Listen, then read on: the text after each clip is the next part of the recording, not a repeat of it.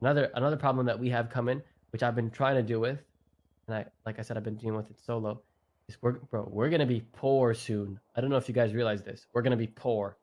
Well, The oil rig is gone, and that was the gang. The gang. Okay, a, a big GG thing is when we have something that we can fall back on. We we fall back on it more than we need to, and we'll fall back on it because it's so comfortable and we can fall back on it. And we've been falling back on the on the oil rig for so damn long, so damn long, and it's gone now. Maybe it'll come back, maybe it won't. But let's assume it's not coming back. Okay. Easy. Sell all your fucking secondary cars. Every one of you own a fucking three fucking cars or something. I'm gonna sell my fucking Lambo and a easy fucking five four mil. Put it Yeah, in how's that gonna last? I mean, something. I mean, I'm not saying let's sell our cars and just go uh, go and do uh, you know uh, live the life we have been living. No, sell the cars and then just start doing shit, um, or maybe not sell So- it and start. Yeah, doing but shit. he wants So- he so- wants like uh like what's the word again?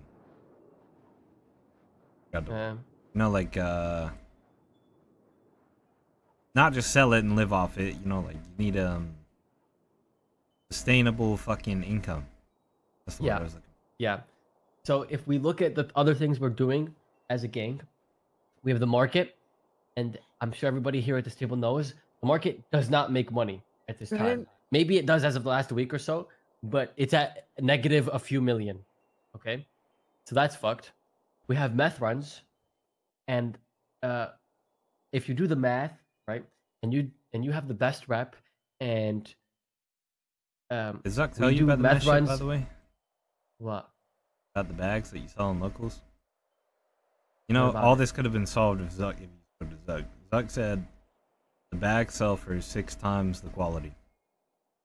What? I literally oh talked to him Oh about this God. problem and he didn't even talk to me. He told me yesterday. Dude. Is that 100% true though?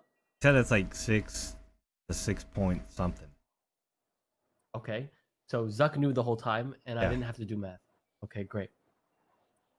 Anyways, uh if we do meth runs, right? And that's just our thing, right? And we do 2 to 3 a week.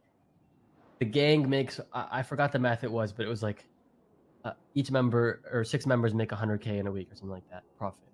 That's not good. That's not good enough at least if we want to survive the way we're living, right? What the fuck else do we do as a gang? We don't hit any goddamn banks. Cuz our not hacker shit. banks. Oh shit. Our hacker fell off.